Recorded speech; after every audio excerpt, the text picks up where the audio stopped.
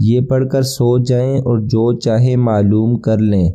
किसी चीज़ के बारे में मालूम करना हो कि इसमें खैर है या शर, ये पढ़कर सो जाएँ और जो चाहे मालूम कर लें। कहीं रिश्ता करना चाहते हैं या कारोबार शुरू करना हो ये वजीफ़ा बहुत बाकमाल है। अव्वल आखिर तीन मरतबा दुरूद शरीफ के साथ, या किरामन का तिबीना इक्कीस मरतबा, या समीऊ या बसीरू, सौ मरतबा, और दुरूद ताज एक मरतबा पढ़कर सो जाएँ। तीन, सात या ग्यारह दिन तक इस अमल को करें। इन पहले तीन दिन के अंदर ही सब मालूम हो जाएगा।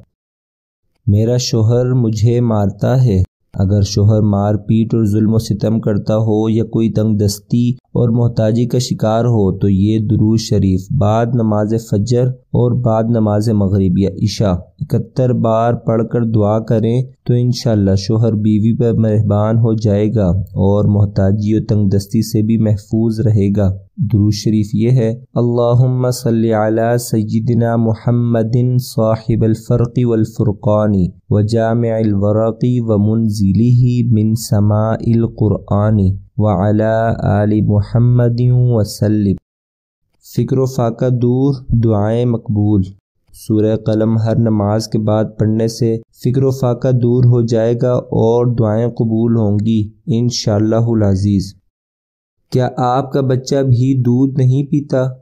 परेशान माओ के लिए ज़बरदस्त तोहफा। बच्चे खाना और दूध पीना छोड़ दें। माए बच्चों को जब भी देखें, ये दुआ पढ़ें। जब बच्चे को खाना या दूध पिलाने लगें तो माए बच्चों की तरफ़ से खुद ये दुआ मुसलसल पढ़ती रहें। जो बच्चे खुद खाना या पीना जानते हों, जब तक वो खाना ना खा लें, तब तक पढ़ती रहें। इनशाला बच्चे खाना खाने और दूध पीने लग जाएँगे। दुआ ये है, बिस्मिल्लाही माशा अल्लाह ला कुव्वत इल्ला बिल्लाही। बच्चे नज़र बद की वजह से खाना पीना छोड़ देते हैं। माए इस अमल को ज़िंदगी भर का मामूल बना लें। बच्चे जब बड़े हो जाएँ तो बच्चों को इस अमल का आदि बनाएँ। ज़िंदगी भर बच्चे नज़र बद से महफूज रहेंगे। दुरूद ताज से हर हाजत पूरी और मुश्किल आसान। तमाम हाजात व मुश्किल के लिए हर नमाज़ के बाद तीन तीन मरतबा, ये फजर और मगरब के बाद सात सात मरतबा का मामूल बनाए। हर हाजत पूरी होगी और हर मुश्किल खुद ब खुद आसान होती जाएगी।